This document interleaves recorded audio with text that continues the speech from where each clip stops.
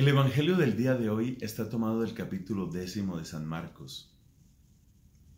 Es conocido comúnmente como el Evangelio del joven rico. Un hombre que tiene la fortuna de haber llevado una vida sana y recta, se acerca a Jesús. Este hombre tiene además otra bendición. Cuenta con bienes de fortuna. Es una persona adinerada, una persona con buenos recursos. Observemos que no hay mucha gente así que se le acerque a Cristo en el Evangelio. Más bien, la norma en el Evangelio es que a Cristo se le acerca gente repleta de problemas, con enfermedades físicas, con graves traumas, casos de posesión diabólica, es decir, la gama entera de las necesidades humanas es la que visita a Cristo. En ese sentido, el Evangelio de hoy es una excepción. Esta es una persona que no parece tener graves problemas. No se nos dice que tenga una dificultad de salud. No se nos dice que esté pasando hambre. No se nos dice que tenga un grave conflicto o un enemigo a muerte. Su situación es buena. O sea que el Evangelio de hoy nos invita a preguntarnos, ¿qué tiene Cristo para decirle a los que no tienen problemas?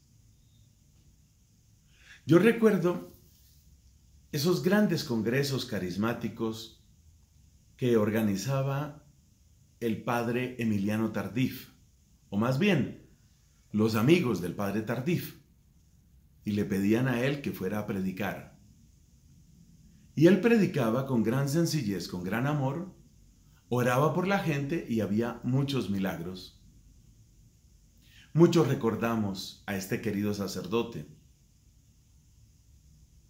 Él tenía mucho que ofrecer a las personas que estaban desorientadas, necesitadas, enfermas, discapacitadas.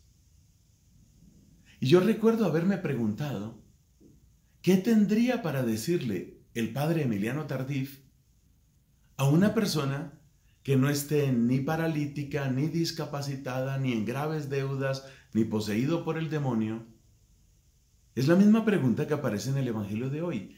¿Qué tiene Cristo para ofrecerle a los buenos, a los que no tienen graves dificultades? ¿Qué tiene Cristo para ellos?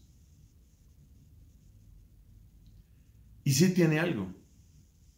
Lo que tiene para ofrecerles es un camino de servicio. Es un camino de entrega. Es como si Cristo, y esto suena un poco chistoso, como si Cristo a los que no tienen les ofrece la abundancia de su amistad, de su salud, de su bendición. Y a los que tienen les invita a que entreguen lo que tienen o sea que al que no tiene le da y al que tiene le invita a que done lo que tiene. Pero más allá de las paradojas, el mensaje del Evangelio nos está diciendo algo muy profundo aquí. El mensaje del Evangelio nos está diciendo que lo que tenemos, lo tenemos no solo para nosotros mismos, sino que el sentido y el fruto de lo que tenemos está más allá de nosotros en aquellos que no tienen. ¿Para qué tengo ojos? Para ayudar al que no puede ver. ¿Para qué tengo manos? Para sostener al que se está cayendo. ¿Para qué mis pies que pueden andar? Para ir en auxilio del que está paralizado.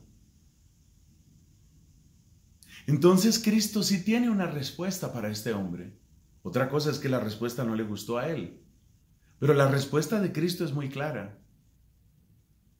Aquello de lo que careces es tu oportunidad para experimentar la misericordia de Dios.